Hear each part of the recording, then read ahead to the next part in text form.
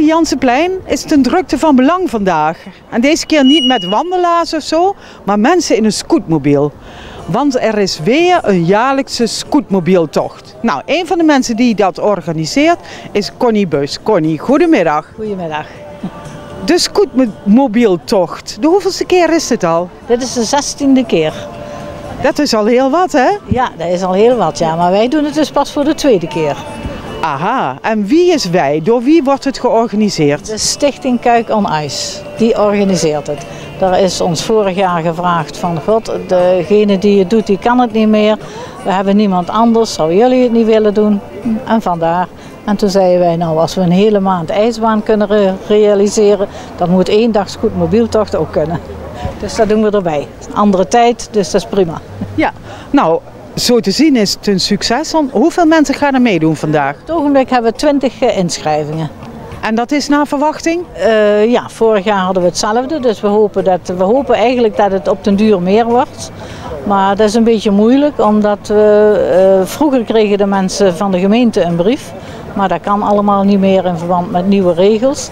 Dus nu moeten de mensen zichzelf aanmelden en wij moeten dus uh, zeg maar zelf werven. Dus uh, aanplakbiljetjes ophangen en, uh, ja. en dergelijke dingen. Want in principe is het voor iedereen of niet? Iedereen die een scootmobiel rijdt mag meedoen. Dus als mensen dit zien, volgend jaar gewoon inschrijven, even bellen naar jullie. Jong of oud, tegen die tijd hangen er overal aanplakbiljetjes in de uh, FM, uh, MFA's liggen papieren, bij de VART liggen papieren, op de NIELT liggen papieren, Doehuis liggen papieren. Dus dan kan iedereen daar een inschrijfformuliertje halen of even mailen. Dan, ja.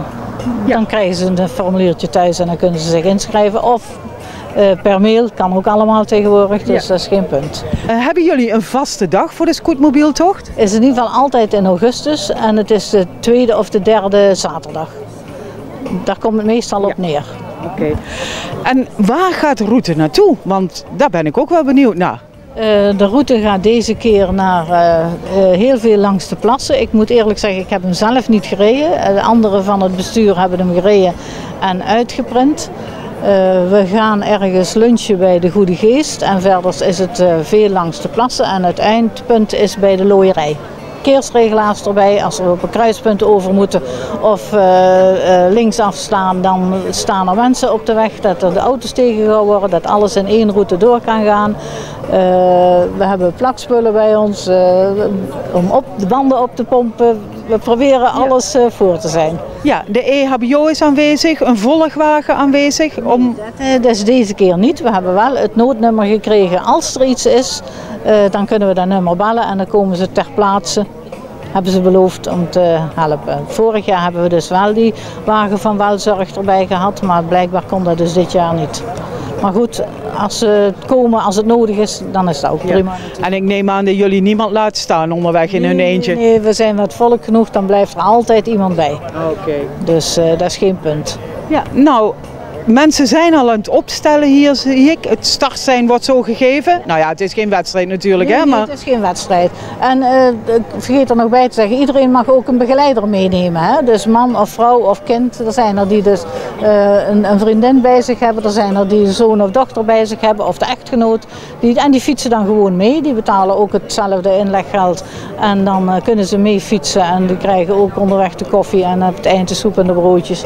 Dus, de, en dan hoeven ze niet alleen te fietsen. Er zijn er die zeggen ik wil niet graag helemaal alleen met de scootmobiel.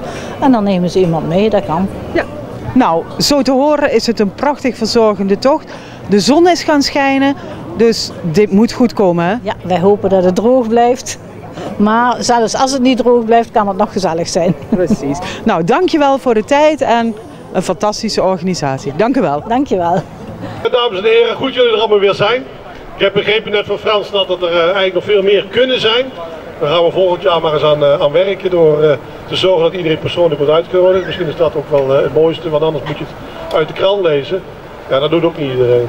Dus, en jullie zijn allemaal klaar voor, volgens mij het weer is hartstikke goed. En ik zei al tegen Frans, de begeleiders zullen meer hebben last van het weer als jullie, want jullie zijn gemotoriseerd of geëlektrificeerd. En jullie hebben niet zoveel last van tegenwind, alleen wat lekker in, in het gezicht. Maar het is hartstikke mooi weer, goed om het te doen. En uh, ja, bij de Zoete Geest is de stank inmiddels ook wel weer opgelost van, het, uh, van de diesel die er in het water lag. Maar dat, uh, dus daar kunnen jullie ook heel goed eh, pauzeren.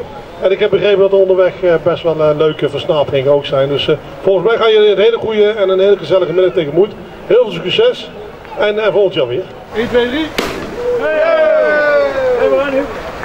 Succes. Maarten, bedankt voor de mooie woorden. En we gaan er iets moois van maken vandaag.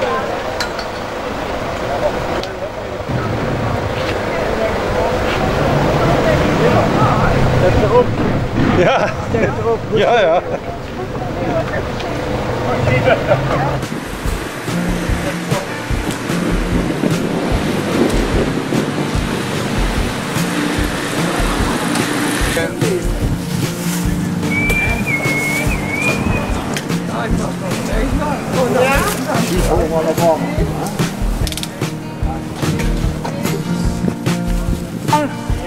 En ik volg jullie wel.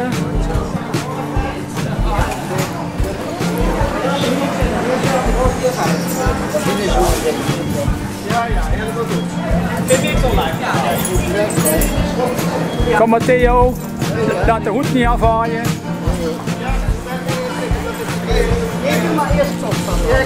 Dankjewel. Ja, leuk. Bedankt, hè. Alsjeblieft. de begeleiding, hoor. Dankjewel. Kijk eens, alsjeblieft.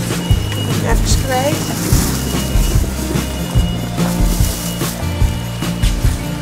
Kijk eens meneer. Alsjeblieft.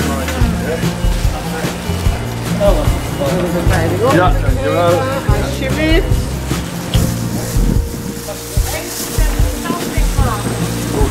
Ah, de EHBO.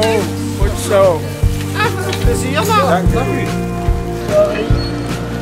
Hallo.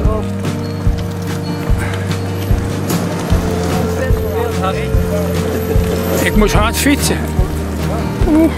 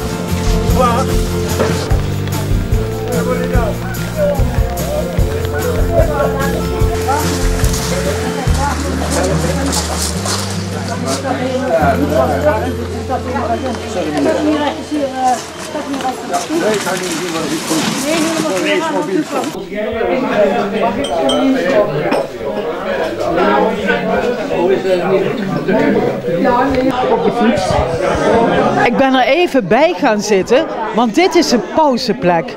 We zijn van nu bij de Zoete Geest in Linden. Een prachtige plek. Helaas viel er net even een buitje, dus iedereen zit nu binnen. Hoe vindt u het, mevrouw? Nou, ik vind het geweldig, alleen het weer niet. Ja, maar de route? De route was geweldig. Ja, de route. Ik weet bij God niet waar ik zit hier, maar het is leuk. U zit nu in Linden. In Linde, oh, ik ben hier nooit geweest. Maar de weg was heel mooi.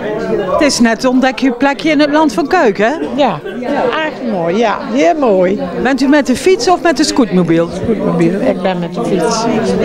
En meneer zit in de scootmobiel? En hoe vindt u het? uitstekend. Vindt u het een leuke route? Ja, mooie harde wegen.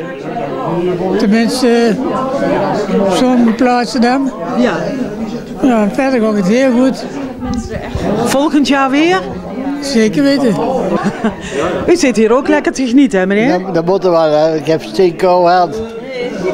Ja. Ik, ik moest naar de wc, maar dat viel niet mee. Ah, Het is toch gelukt, hè, eindelijk. ja. En Ja. nu lekker even genieten van een bakje koffie. Ja, want dat is jammer dat ik het op heb. Ja, ja. maar het heeft wel Ja. gesmaakt, neem ik aan. Het was heerlijk, ja. Oké, wat vindt u van de tocht? Het was mooi, jammer dat het, eh, die regenbuien, want er ook wel, Ja. was voor twee jaar terug precies in.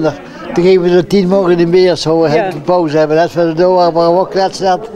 En niemand had niks, geen regenkleding bij zich. En toen brak de zon weer door en die begon er weer te schijnen en de damp sloeg van de broek af. Kijk. Als we droog verder weer door waren. Ja. Ja, is Maar mooi. u bent niet weggesmolten, toch? Nee, echt niet. En Nee, ik ben niet voor een kleintje verwaard. Ja. En zijn in het laatste stuk nog genieten van de mooie natuur hier? Tuurlijk, ja. Prachtig, jongen. Ik vind dat mooi. zo. Doe ik, gun er voor de vijfde keer mee nog. Kijk. Ja, Aha. ik heb een natte neus.